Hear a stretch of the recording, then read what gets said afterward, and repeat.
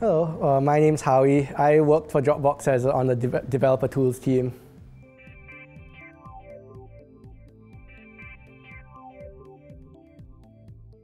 I got into Scala sometime around 2012.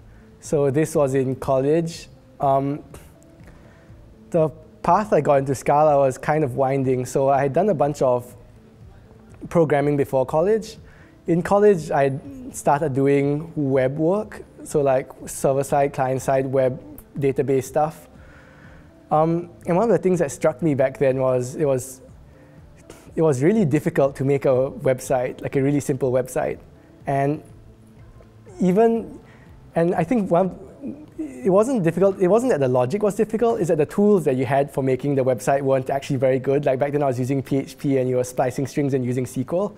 Um, and so it occurred to me that, hey, it would be nice if you had better tools for working on this kind of thing, like better tools for writing the front end, better tools writing the server.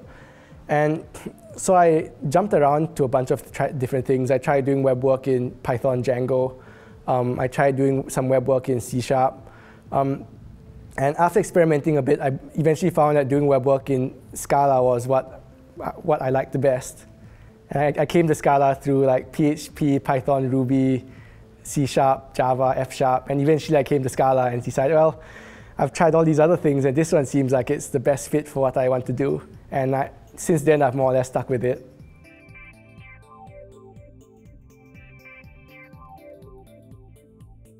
It's hard to say what my ideal stack is. Um, currently, what I think is most promising for doing web work is like web programming with client server is Scala with Scala.js. Um, so how it compares to the more traditional Python JavaScript is it lets you it lets you it lets you avoid all the basic errors much more easily. So rather than trying, rather than spending your time worrying about the typos in your JavaScript or typos in your AJAX calls, you, all that stuff gets handled for you, and you can spend your time thinking about high-level things like abstractions or performance or um, query query patterns and that sort of thing. Um, of course, there's also the downside where Scala compiles a million times slower than Python compiles. So there's some downside, and it's not clear which one is more ideal. But right now, I think that the Scala and Scala.js are probably the best I could ask for working on the web.